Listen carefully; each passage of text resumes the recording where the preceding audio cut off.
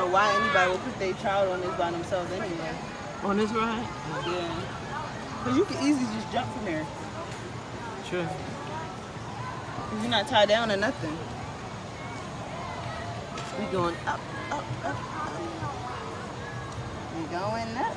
Oh, wow.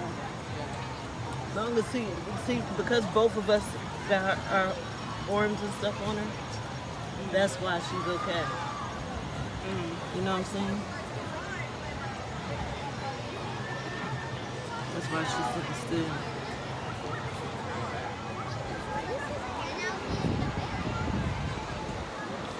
Getting good video. How are you today, Aziella?